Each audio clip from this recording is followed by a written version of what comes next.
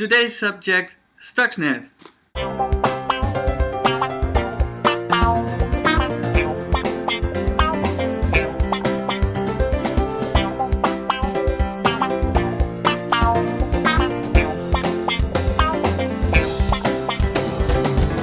Welcome to a new recommended article. Recommended article for today is called Former CIA Head Calls Stuxnet Virus Good Idea.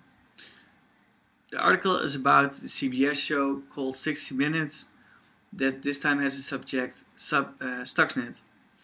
For viewers that don't know what Stuxnet is, Stuxnet is a computer virus that about two years ago was able to infect centrifuges at Iran's nuclear fuel enrichment facility at Natanz.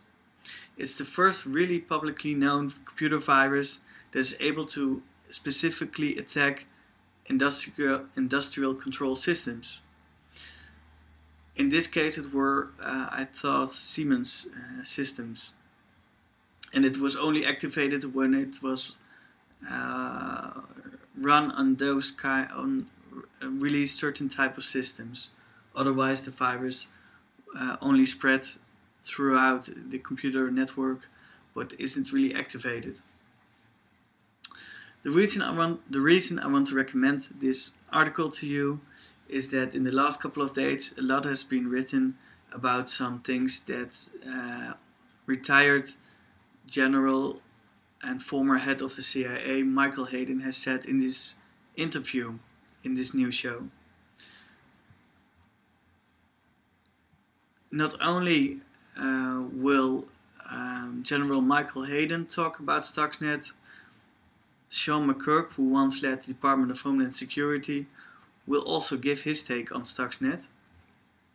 I think the reason it's uh, I think the reason you need to watch this um, CBS show is that it will be about uh, cyber weapons, cyber uh, security, and critical infrastructures.